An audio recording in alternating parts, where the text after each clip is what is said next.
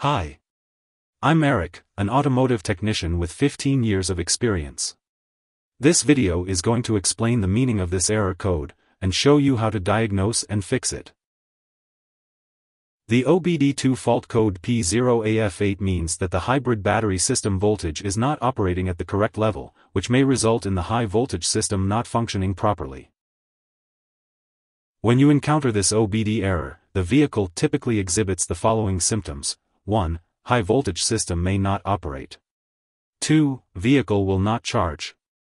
Now we talk about possible causes, and how to diagnose and fix. Auxiliary 12V battery failure. Check the voltage of the auxiliary 12V battery using a multimeter.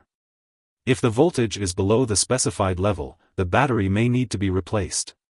Replace the auxiliary 12V battery with a new one and ensure it is properly connected. Battery Energy Control Module, BECM, failure.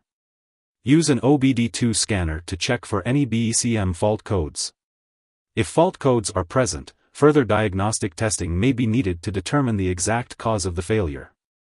Replace the BECM with a new one and reprogram it to the vehicle. High voltage battery assembly failure. Perform a visual inspection of the high-voltage battery assembly for any signs of damage or corrosion. Use a high-voltage meter to check the total voltage output of the battery pack. If any damage or corrosion is found, the high-voltage battery assembly may need to be repaired or replaced.